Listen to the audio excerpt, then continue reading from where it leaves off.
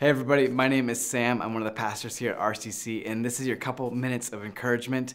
We have, over the past number of days, been looking at these upside down things that Jesus teaches and the things that he says, uh, and it's been really fun to, to, look at them. And this today is no different. It's another chance for us to see things in, through a different lens, through a different way of viewing things, through through Jesus's way of seeing this world. And, and this is what he says. It's in, it's in the book of Matthew. It says this You have heard the law that says, the punishment must match the injury an eye for an eye and a tooth for a tooth. But I say, do not resist an evil person. If someone slaps you on the right cheek, offer the other cheek also.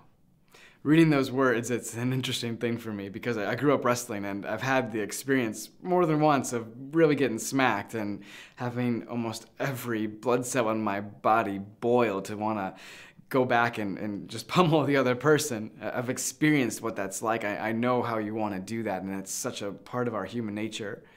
But what Jesus says in these verses, no, that, that's not the way.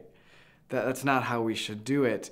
Uh, when you get smacked on the, the one side, you offer the other side. When, when someone takes something from you, you can give them even more.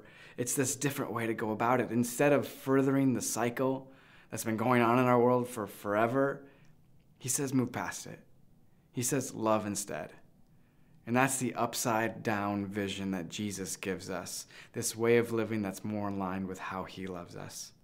I hope that's an encouragement to you. I hope you can apply that to your life today, and I look forward to seeing you again tomorrow.